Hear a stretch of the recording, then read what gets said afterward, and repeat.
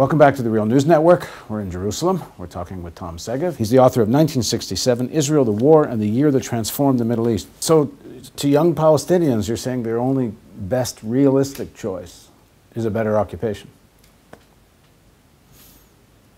And you know they're not going to accept it. I'm, I'm mostly talking to Israelis, not to Palestinians. But um, I would tell to Israelis on two levels, if you want.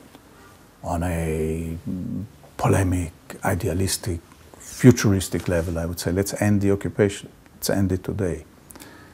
It's no good. Let's dismantle the settlements. It's no good. Bring all settlers home. Let's go for the 1967 border. Let's go for power sharing in Jerusalem. Let's go for a two state solution. Okay? I've said all that. Doesn't mean much because it won't be in the near future. I don't believe that it's possible. I want it very much, but I don't believe that it's possible. So I'm saying, so what do we do in the meantime? And I'm saying that in the meantime, there are many ways to diminish the uh, systematic violations of the human rights of the Palestinians. We can make it easier for them. Now, if you are living in a small village, let's say called Biddu, which is outside Jerusalem, and you can't go to the doctor, which is 10 minutes away in, in the hospital in Jerusalem, and you have to go to Ramallah, passing a few checkpoints, then you could laugh at me and say, okay, you only want an easier occupation. But if I'm telling you that many of these checkpoints are unnecessary, they are unnecessary hardship. Let's take them away. So, from a Palestinian point of view, from a nationalistic point of view, you might say, well, this is very nice for you. You will have, um, you will have an easy occupation. Everything will be nice, but you will still be occupiers. Yes, I would still be occupiers, but life will be more livable for the Palestinians. And life for the Palestinians is so difficult today that even if you start by making it easier, you have achieved something. So this is very little. This is uh, not big idealism. It's a very apolitical thing I'm saying, but I think we have reached the point, unfortunately.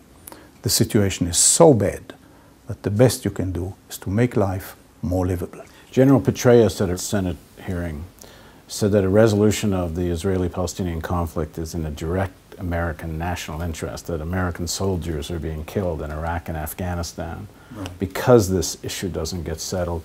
A lot of analysts said that was very important rhetoric coming from Petraeus, and, and it wasn't just, he sent some of his other generals out to say the same thing to other congressmen and senators.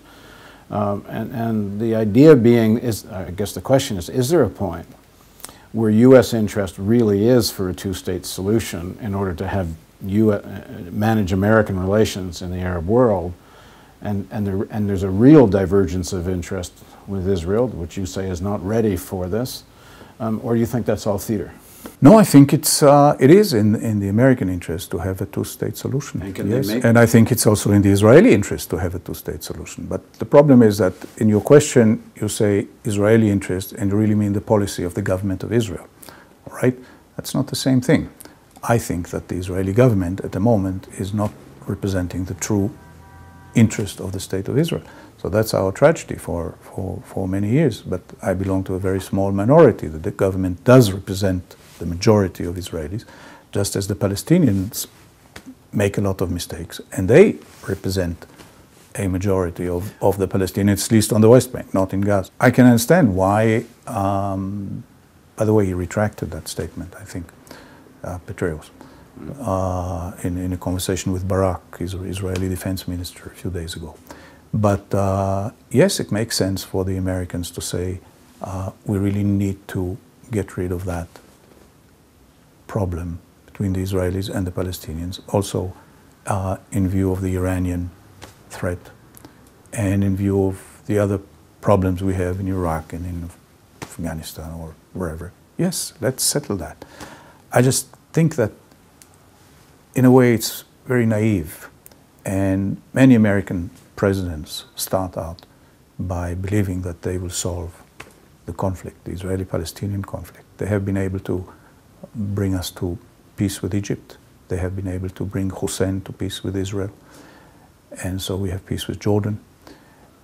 As I said, I think that American pressure might lead to peace between Israel and Syria. But the problem with the Palestinians, I think, is beyond the ability of the United States government to achieve, even if they put very heavy pressure on, on Israel. So, even if there's a threat to subsidies? So I, I, I would love there to be very heavy pressure on Israel to ease the situation, to lift some of the restrictions, to diminish some of the violation of the human rights of the Palestinians. That is, I think, something the Americans can do and also the Europeans can do.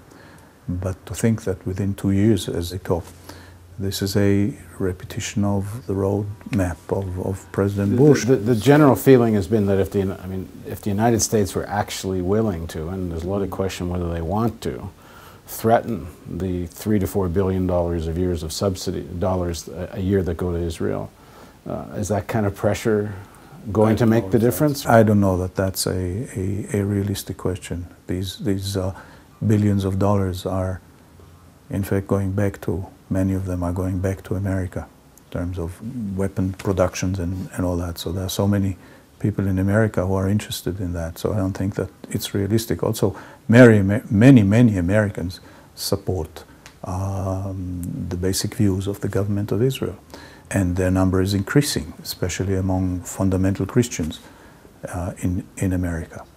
And uh, so these are people who, who, who support the basic views of the government of Israel, and, and they cannot be, cannot be ignored. So it's not merely about the Israel lobby or the Jewish vote or something. It's a very, very widespread support eh, among the American public.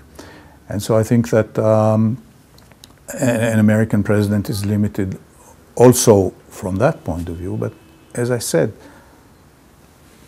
you've already understood this by now, but I'm very pessimistic. And so I think that rather than aiming at a final peace agreement, we should uh, aim at making life more livable. Thanks for joining us. Thank you. And thank you for joining us on the Real News Network.